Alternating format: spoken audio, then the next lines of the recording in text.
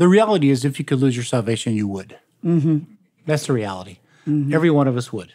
That's right. Our eternal security is based on the faithfulness of Christ, Mm-hmm. not being perfect. So every one of us would lose. That goes back to Hebrews 6, Thank you, which Jesus. is another strong Right. passage. So I, I think what he's talking about here, and he uses Moses as an example when he goes down through there, uh, let us hold unswervingly to the hope we profess. But just before that, he said, um, anyone who rejected the law of Moses died without mercy on the testimony of two or three witnesses. Hmm. And so that's what Moses did. He struck the rock instead of spoke to it. And God basically said, Because you blaspheme me in front of all these people, I'm going to kill you. You're dead. Hmm. You're not going into the promised land. So God, sure enough, took his life uh, 40 years later.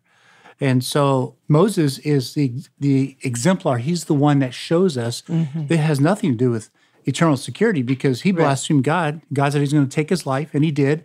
But he reappears the Mount of Transfiguration. That's right. Mm-hmm. He didn't get into the promised land in this life, but he did right. Yeah. in the next one. That's Right. right. Because he On the highest scenic point, standing next to a glorified Jesus. Ultimately, we may not see it with our human eyes, but ultimately, God really will cause everything to work for the good for those of us who love Him and are called according to His purposes.